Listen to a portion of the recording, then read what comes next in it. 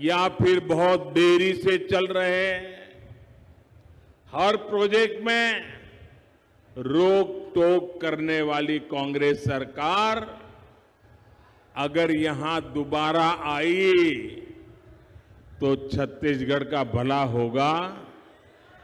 जरा ज़ोर से बताइए, छत्तीसगढ़ का भला होगा? आपका भला होगा? यहाँ के युवकों का भला होगा? यहाँ की माताओं बहनों का भला होगा। साथियों, जब कांग्रेस की सरकार दिल्ली में थी,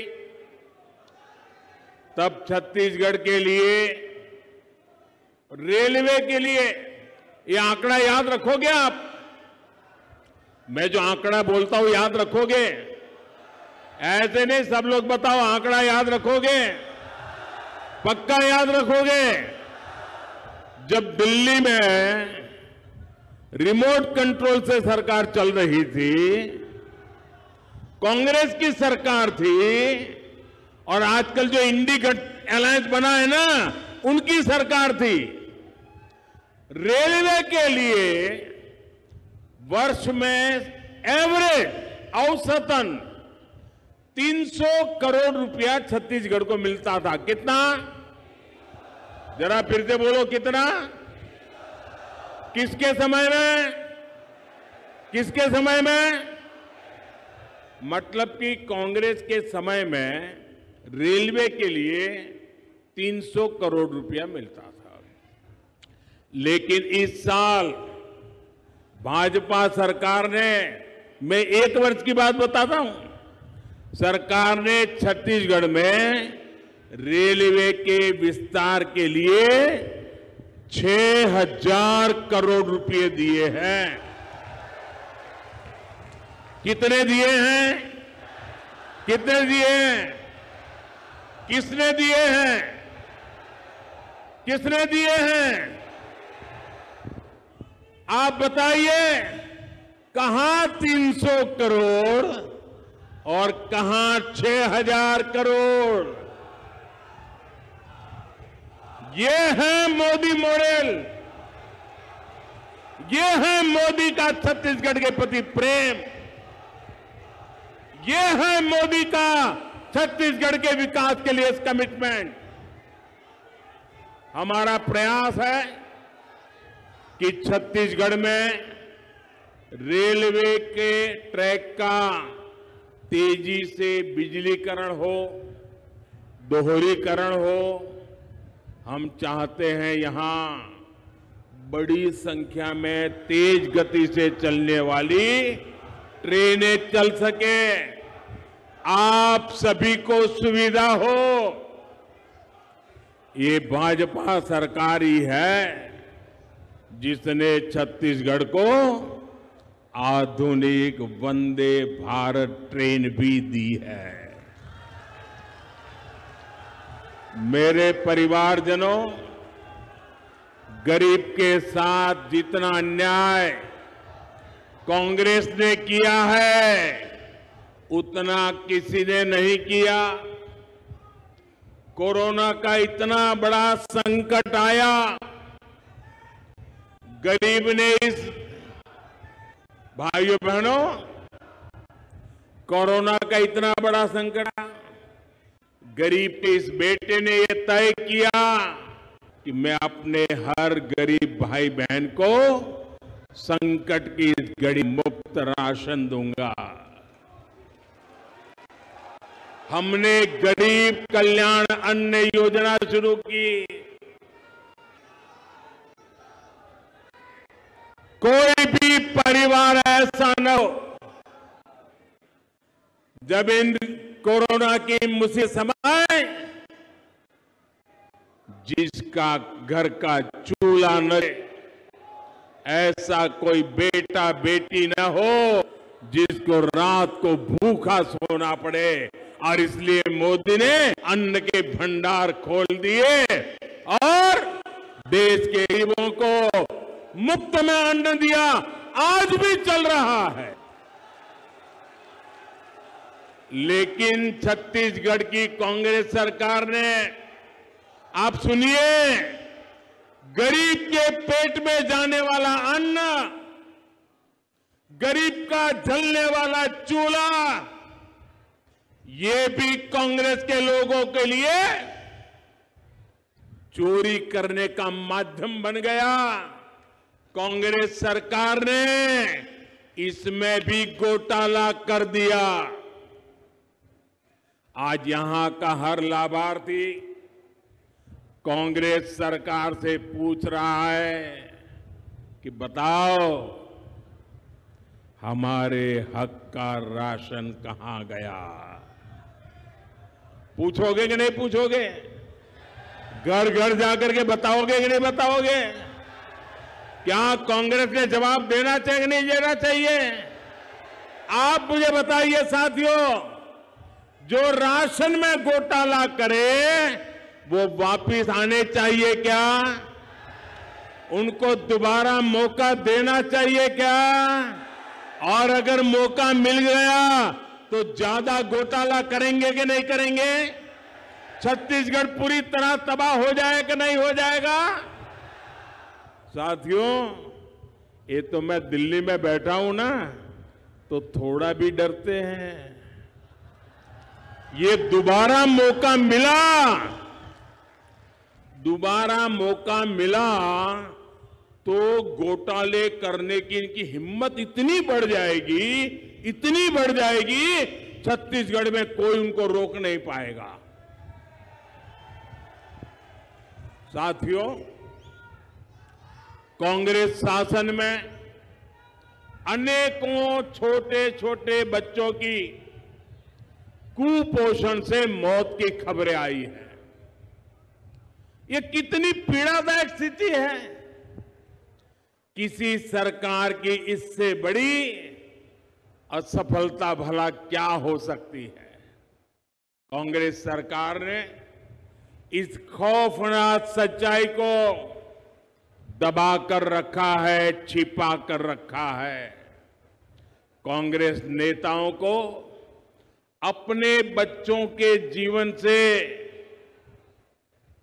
बहुत सारोकार है, लेकिन आपके बच्चों से, आपके बच्चों के जीवन से कांग्रेस वालों को कोई लेना देना नहीं है। उनको तो अपने बच्चों की ज़िंदगी बनानी है। साथियों, केंद्र की भाजपा सरकार का प्रयास है कि यहाँ से जो खनिज संपदा निकलती है, उसका एक हिस्सा यहीं के विकास में लगना चाहिए। इसके लिए भाजपा सरकार ने डिस्ट्रिक्ट मिनरल फंड बनाया है। इसके तहत छत्तीसगढ़ को भी करोड़ों रुपए दिए गए हैं। और जब हमने नियम बनाया, तब रमन सिंह जी मुख्यमंत्री थे। वो मुझे स्पेशली मिलने आए थे। और रमन सिंह जी कहा, साहब, आपने ऐसा निर्णय किया है, क्या आपने हिसाब लगाया है क्या होगा? मैंने कहा, बताइए। बोले, मेरे कुछ ज़िले ऐसे हैं, जिनको सिर्फ़ इस फंड से इतना पैसा मिलेगा, इतना पैसा मिलेगा, जितना पहले बजट से नहीं मिला है, और अब तो शायद इन जिलों के लिए हमें अतिरिक्त बजट भी नहीं बांटना पड़े, और ये ज़िले आते निकल जाएँगे। ये शब्द रमन सिंह जी ने मुझे आकर के कहे थे। लेकिन कांग्रेस ने आते ही उसका भी बंटाधार कर दिया। हमारे छत्तीसगढ़ के दलितों, पिछड़ों, आदिवासियों के इन पैसों पर भी डाका डाल दिया। कांग्रेस ने यहाँ शराब घोटाला करके क्या कुछ नहीं कमाया है?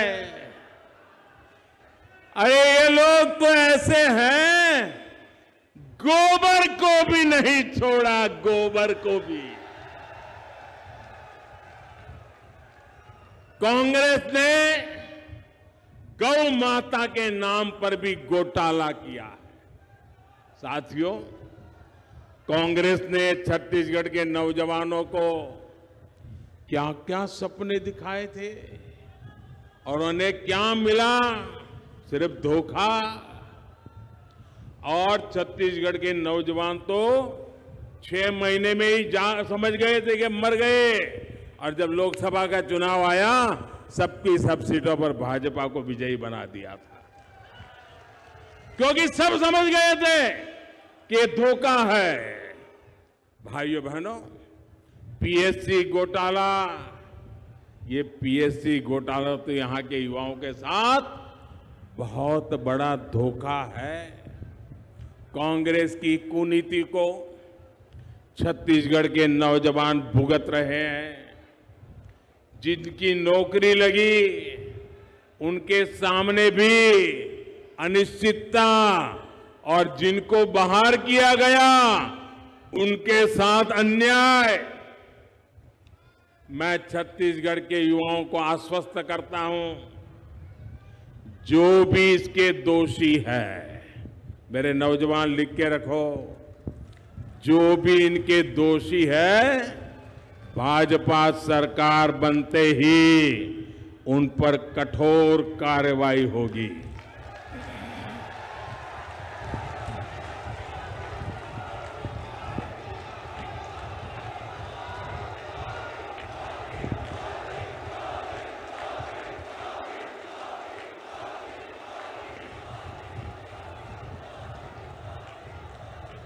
मेरे परिवारजनों, कांग्रेस ने छत्तीसगढ़ के धान किसानों को भी हमेशा धोखा दिया है। उनसे झूठ बोला है। यहाँ के धान किसानों का दाना दाना, याद रखोगे? मैं बहुत जिम्मेवारी से बोल रहा हूँ। याद रखोगे? यहाँ के धान किसानों का दाना दाना। केंद्र की भाजपा सरकार खरीदती है। मोदी सरकार खरीदती है। छत्तीसगढ़ के किसानों का धान खरीदकर केंद्र सरकार ने एक लाख करोड़ रुपए से ज़्यादा दिए कितने? फिर से बोलिए कितने? फिर से बोलिए कितने? घर घर जाके बताओगे? किसानों को बताओगे? यहाँ के धान किसानों को पैसे केंद्र की भाजपा सरकार देती है और दावे यहाँ कांग्रेस सरकार करती है। अब आपको बोलना चाहिए नहीं बोलना चाहिए? जोरों से बोलना चाहिए नहीं बोलना चाहिए? बार बार बोलना चाहिए, नहीं बोलना चाहिए। सच्चाई लोगों को पहुंचानी चाहिए, नहीं पहुंचानी चाहिए। उनको बेनकाब करना चाहिए, नहीं करना चाहिए। करोगे? ढीला मत बोलो। करोगे? करोगे? आप करोगे? वो पीछे हैं, वो करेंगे। उधर वाले करेंगे। और ये वाले करेंगे। ये वाले करेंगे क्या? चलिए, ये भी करेंगे। मैं फिर आपको विश्वास दिलाता हूँ।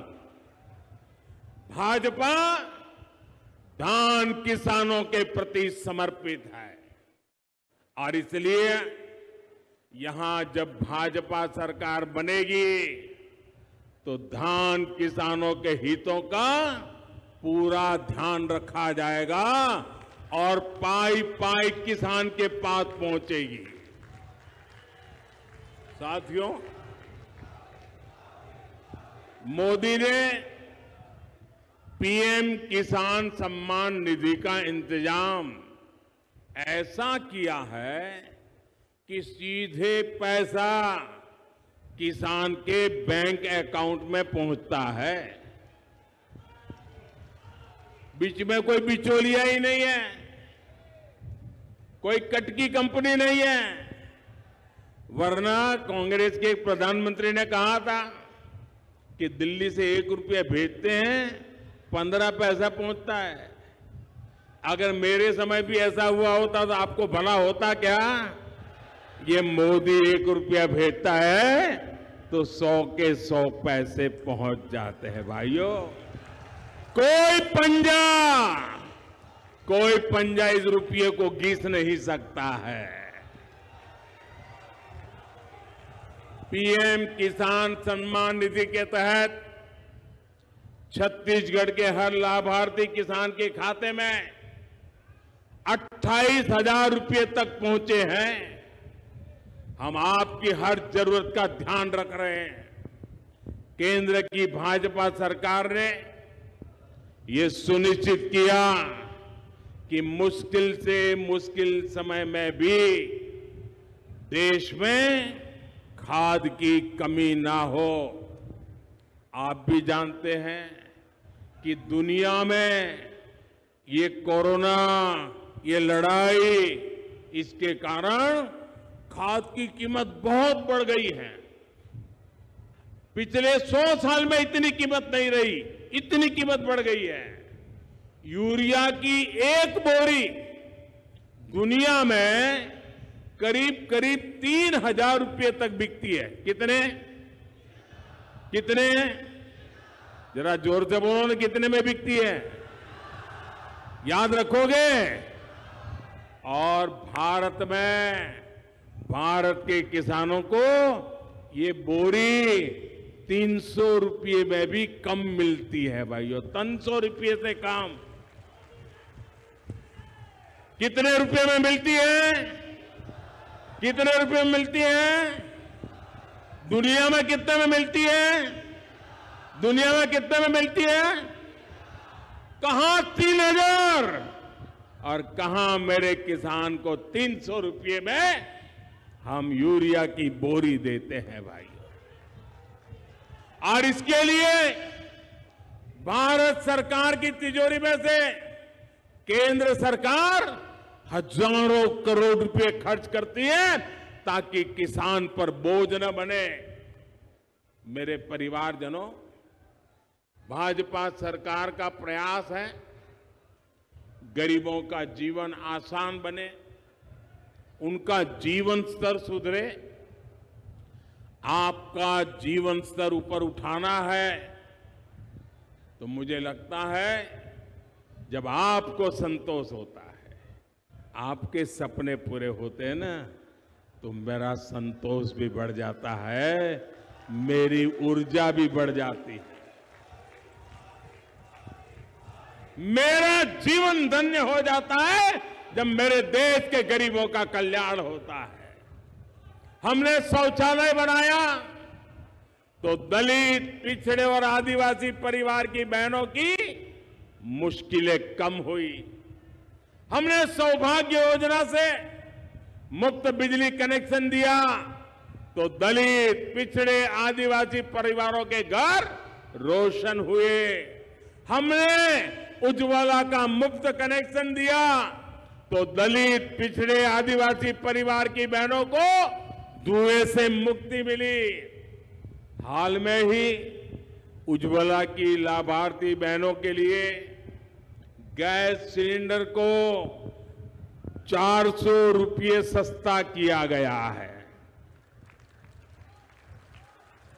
और मैंने देखा कि जब उज्ज्वला योजना शुरू हुई, तब जितने परिवार थे, अब कुछ परिवारों में विभाजन होता है, बेटा अलग घर करके रहने जाता है तो कुछ परिवार बढ़ गए हैं तो मुझे लोग हमारे कार्यकर्ता बताते थे कि साहब, उज्ज्वला योजना को थोड़ा नया शुरू करना पड़ेगा। पहले राउंड में तो सबको मिल गया, लेकिन अब नए परिवार बस गए आपकी बात को ध्यान में रख करके पचहत्तर लाख नए परिवार को लिए हमने प्रबंध कर दिया है। आने वाले दिनों में जैसी जैसी ज़रूरत होगी, उनको भी उज्ज्वला गैस कनेक्शन मिल जाएगा। इससे छत्तीसगढ़ के भी अनेक परिवारों को लाभ होगा। हमने आयुष्मान भारत योजना से पाँच लाख रुपए तक का मुफ़्त इलाज सुनिश्चित किया है। इसका लाभ भी छत्तीसगढ़ के लाखों दलित, पिछड़े और आदिवासी परिवार उठा रहे हैं। और भाइयों बहनों, ये पाँच लाख रुपया वाली आयुष्मान योजना ये दुनिया में सबसे बड़ी योजना है। दुनिया में सबसे बड़ी। और हमारे यहाँ तो आपने देखा होगा, परिवार में हमारी माताएँ बहनें कितनी ही बीमारी हो, कितनी ही पीड़ा हो, काम करना भी मुश्किल हो, लेकिन माताएँ बहनें परिवार में किसी को पता नहीं चलने देती। उसको बीमारी है। क्यों? क्योंकि माँ बहनों को लगता है कि अगर बच्चों को पता चल गया कि बीमारी है तो अस्पताल ले जाएँगे, खर्चा हो जाएगा, पैसे तो है नहीं, बच्चे कर्ज में डूब जाएँगे, और इसलिए माँ कहती है, मैं पीड़ा सहन करूँगी, लेकिन बेटे को कर्ज में डूबने नहीं दूँगी। हमारे देश में माताएँ, बहनें पीड़ा सहती है, लेकिन परिवार पर बोझ नहीं होने देती। ये पीड़ा ये गरीब माँ का बेटा समझता है। और इसलिए आपके इस बेटे ने गारंटी दी है कि मेरी माँ अब तेरा पाँच लाख रुपया तक का बिल ये तेरा बेटा दे देगा, तेरा बेटा दे साथियों, मोदी मोदी आने गारंटी पूरी करने की गारंटी है। मेरे परिवारजनों, मोदी ने आपको दी हुई एक और गारंटी पूरी कर दी है। अब लोकसभा और विधानसभा में बहनों के लिए 33 प्रतिशत सीटें आरक्षित हो जाएगी। भाजपा सरकार में नारी शक्ति बंधन अधिनियम अब सच्चाई बन चुका है। और कल ही हमारे राष्ट्रपति द्रौपदी मुर्मू जी, जो आदिवासी महिला, उन्होंने कल उस पर हस्ताक्षर करके अब उसको कानून भी बना दिया है। लेकिन भाइयों बहनों, मोदी तो करेगा। मोदी जो गारंटी देता है ना, वो पूरी करता है। लेकिन आपको, खास करके माताओं बहनों को बहुत सतर्क रहना होगा। बहुत मुश्किल से इतना बड़ा पड़ाव हमने पार किया है। तीस साल से लटका हुआ था, आप सोचिए, तीस साल। सरकारें आ गई, बोलती रही, नाटक करती रही, काम नहीं किया। कांग्रेस और इसके गमंडिया साथी, उनको लग रहा है कि मोदी ने क्या कर दिया।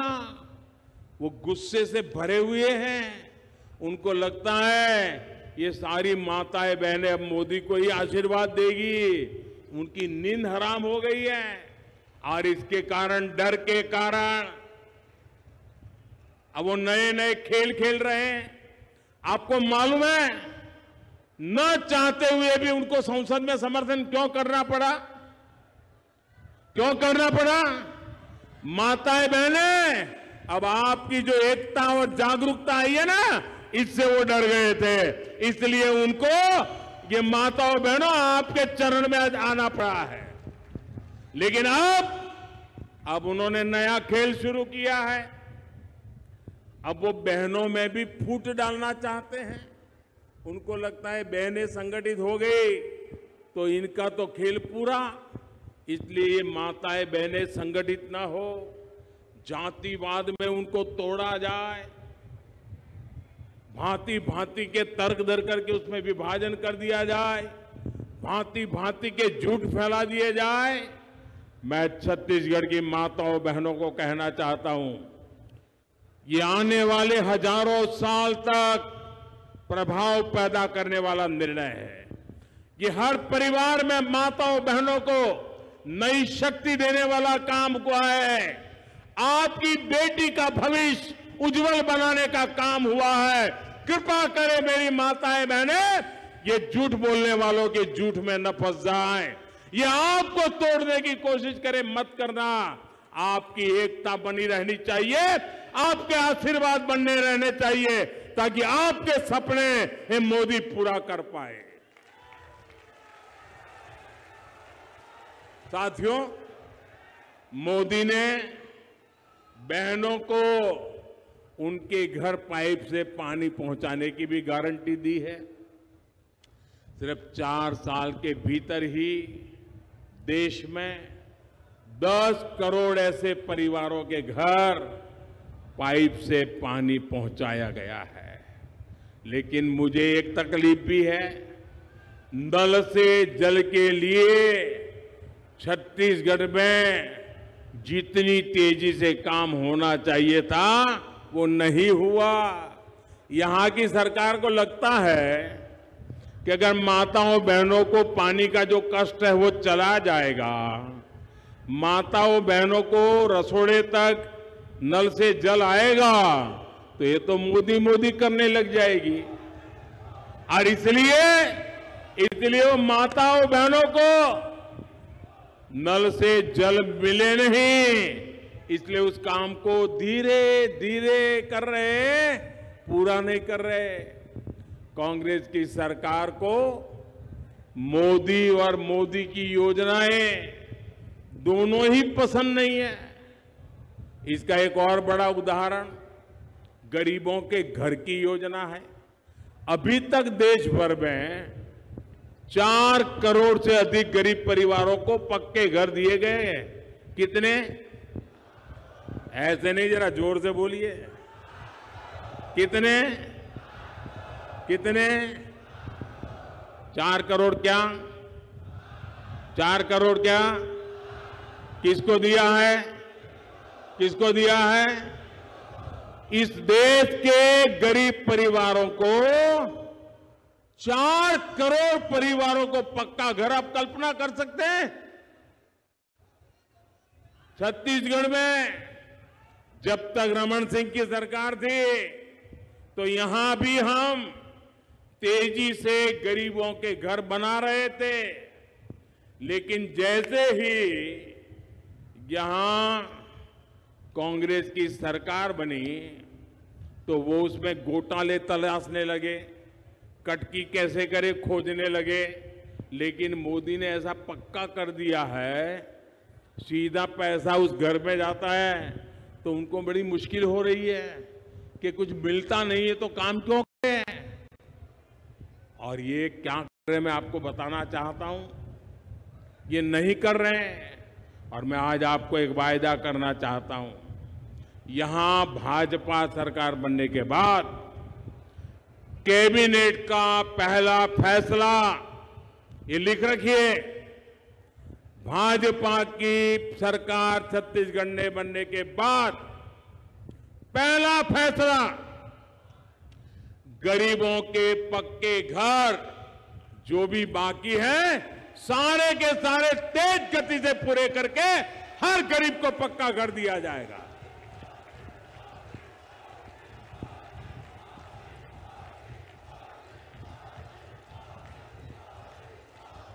मेरे परिवारजनों, मोदी से कांग्रेस की ये नफरत इसलिए है क्योंकि उनको तकलीफ़ हो रही है। कि पिछड़े समाज से आया हुआ इंसान प्रधानमंत्री कैसे बन गया? उनका तो आरक्षण था पीएम की कुर्सी पे। इसलिए वो मोदी के बहाने पूरे पिछड़े समाज को गाली देने से नहीं चुकते। कांग्रेस के नेताओं को लगता है कि इस समाज को गाली भी देंगे तो कुछ नहीं होगा। गरीब, दलित, आदिवासी, ओबीसी, सभी से कांग्रेस नफरत करती है, कोर्ट सजा देती है, ओबीसी को गाली देने के लिए सजा देती है, फिर भी सुधरने को तैयार नहीं है, ओबीसी के लिए कितनी नफरत होगी, इसका ये उदाहरण है। केंद्र में भाजपा सरकार बनी तो दलित समाज से श्री रामनाथ कोविंद जी को हमने राष्ट्रपति पद का उम्मीदवार बनाया। कांग्रेस ने उसका भी विरोध किया। दूसरी बार सरकार बनी तो हमने भारत को पहली आदिवासी महिला राष्ट्रपति देने का फैसला किया। कांग्रेस ने आदिवासी बेटी का भी विरोध किया। ये विरोध वैचारिक नहीं था। अगर वैचारिक होता तो कांग्रेस अपनी विचारधारा के किसी नेता को मैदान में उतारती, लेकिन कांग्रेस ने बीजेपी के ही एक पुराने नेता को आदिवासी बेटी के विरोध में उम्मीदवार बनाया। साथियों, कांग्रेस एससी समाज को कैसे अपमानित करती है, इसके बारे में गुरु बालदास जी प्रमुखता से आवाज़ उठाते रहे हैं। सतनामी समाज के साथ यहाँ कैसा बर्ताव हुआ है, ये भी सबने देखा है। ये कांग्रेस की पुरानी मानसिकता है, ये किसी भी दलित पिछड़े आदिवासी को आगे बढ़ता देख नहीं सकते। जो एक विशेष परिवार के दरबार में हाजिरी लगाता है, इनके यहाँ वही आगे बढ़ पाता है। मेरे परिवारजनों, भाजपा के लिए सामाजिक न्याय सबकी भागीदारी का विकसित भारत के निर्माण का रास्ता हमारे पास पक्का रास्ता है। हाल में ही प्रधानमंत्री विश्वकर्मा योजना शुरू की गई है। तेरह हज़ार करोड़ की ये योजना हमने अपने विश्वकर्मा परिवारों के जीवन को बेहतर बनाने के लिए बनाई है। इससे छत्तीसगढ़ के हमारे हज़ारों विश्वकर्मा साथियों को भी लाभ होगा। इस योजना से हमारे कुम्हार भाई बहन लोहार भाई बहन सुतार भाई बहन सुनार भाई बहन फूल की मालाएँ बनाने वाले मालाकार भाई बहन कपड़े धोने वाले परिवार, बाल काटने वाले परिवार, दर्जी परिवार, खिलौने बनाने वाले परिवार, राजमिस्त्री परिवार, ऐसे जो तमाम कारीगर शिल्पकार है, उनके लिए हज़ारों करोड़ की विश्वकर्मा योजना हमने बनाई। इसके तहत सरकार ट्रेनिंग भी देगी, आधुनिक उपकरण खरीदने के लिए पंद्रह हज़ार रुपये भी देगी, साथ ही काम शुरू करने और आगे बढ़ाने के लिए लाखों रुपये का सस्ता ऋण भी उपलब्ध होगा। और हाँ, मैं अपने विश्वकर्मा साथियों को बता दूँ कि आपसे बैंक गारंटी नहीं मांगेगा कोई।